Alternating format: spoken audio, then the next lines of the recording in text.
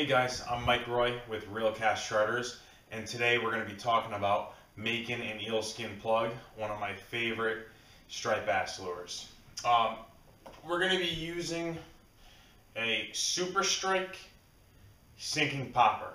Okay, this has the black eyes, the green eyes is the floater. Um, not going to be applicable for the eel skin. Uh, that's a popping plug. This plug, I know it looks like a popper, but with the way it's weighted and the concave face actually has a fantastic swimming action. It casts really, really well.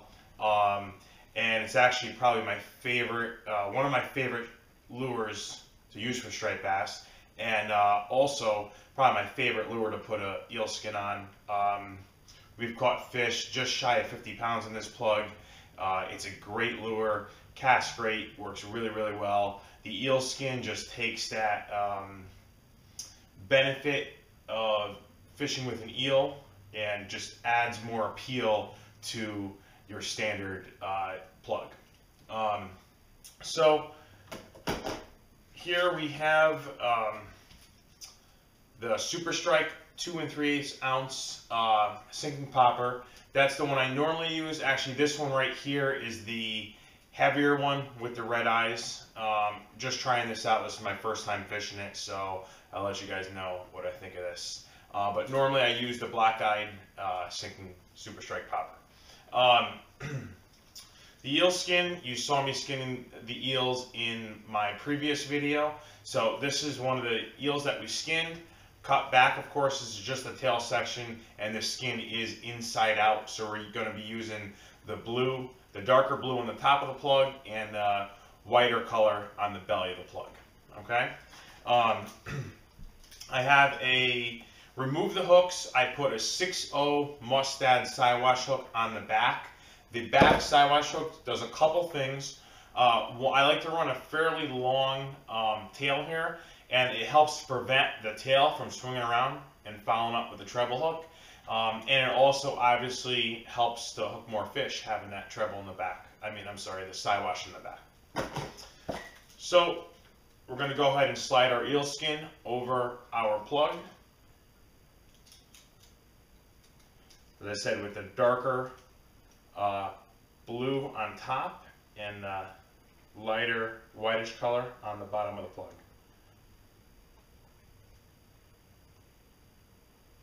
I'm going to run this down, so I like to have a few inch, maybe two or three inches of tail hanging off the treble hook. I mean off the uh, Siwash hook, sorry.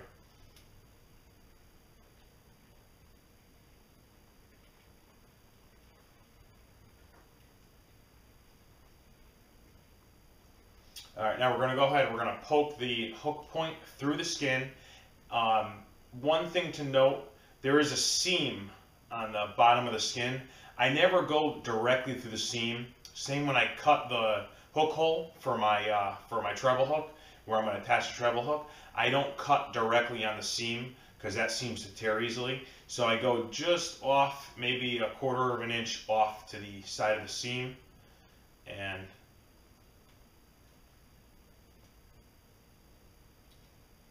run that through just like that. Now I did use uh, just a standard hook file to sharpen this um, before I put this on.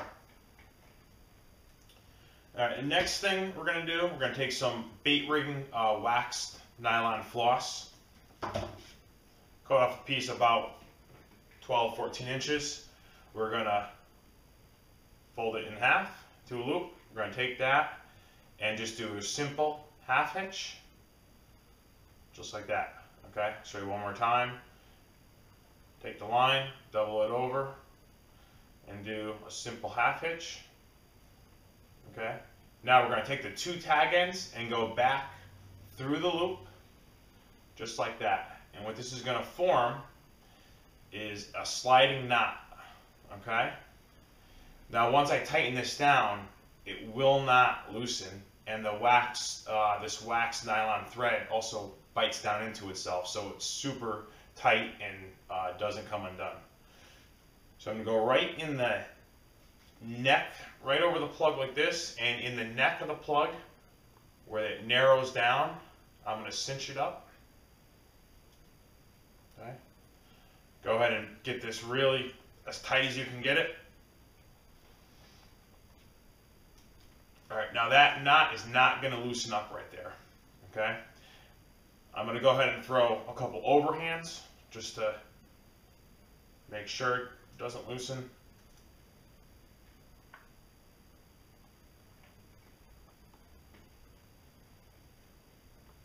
Just like that, and go ahead and I can trim the tag end.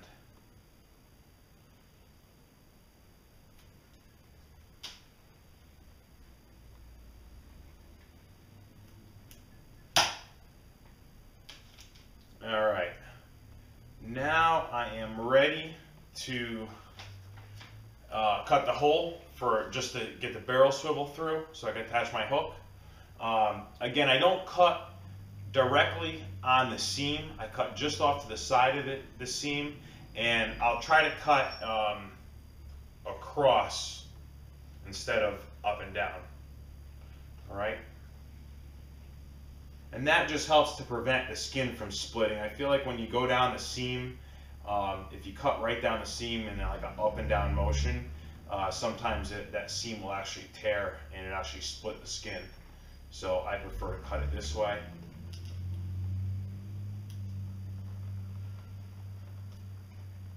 The skin is a little tough to cut through. I just want a big enough hole just to get the barrel swivel through.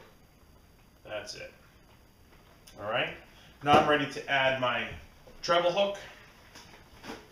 For uh, treble hook, I use a 4.0 VMC hook. Um, I'm using uh, a 6X. I've used the 4X hooks before, the 9626. I've upgraded to uh, the 6X. They're a little bit thicker, um, thicker uh, gauge steel, a little bit stronger. Uh, when you hook really big striped bass, they do get leverage and they will bend the 4X hooks open. So I've upgraded a lot of my hooks to the 6X hooks. Okay. Uh, you can cut 6X uh, open with these manly uh, super pliers, six and a half inch super pliers. I know some people seem to think that you can't. That's not true, as I'm going to show you. Um, when you cut the hook, you're going to take the the shank of the hook or the shaft is kind of like a triangle. So this is the pointed side, this is the flat side. Flat side down, I'm going to take my cutters, cut through, just like that. And now very easily, I'm going to open this. You do occasionally, if you go too hard here, you will sometimes break the hook. But if you go nice and easy, you should be able to do it without breaking it. And you want to open hook just enough to get it over the barrel swivel. I'm going to go a little bit more.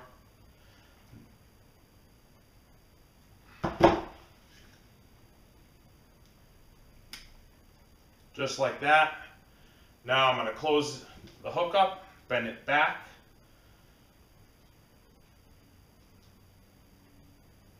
I don't like, I prefer not using a split ring here. Just because, again, with that tail flapping over, uh, I don't want, I want to try to prevent the tail from following up and, and catching the hook point. Um, it does occasionally do that, but I found with the, with the Siwash hook in the back, it does it, you know, maybe one out of 10 casts. If you don't have the Siwash hook, it's going to do it uh, much more frequently. Um, so the skin is all set. Now all I need to do is trim the excess skin on the front of the plug. I'm going to leave about uh, maybe a quarter of an inch in front of the thread skin.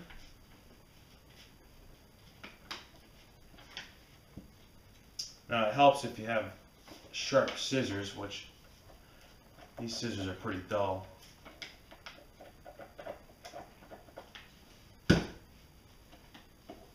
Again, don't cut too close to the thread because it'll uh, it'll slip back. Like if you cut all the way to the thread, the skin could slip under the thread. But with that knot that I just showed you, um, the thread generally uh, holds the skin really, really well and uh, won't slip back on you.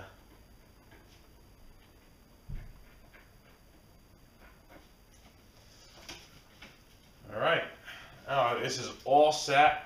to fish. Uh, again, really effective striped bass lure. It has a great swim in action, and this little tail kind of kicks back and forth in the water, makes it um, real effective lure for striped bass. Big striped bass, I could fish it in a wind, in a current sweep, um, even in, in uh, pretty heavy surf and it'll always uh, swim true and do what I want it to do.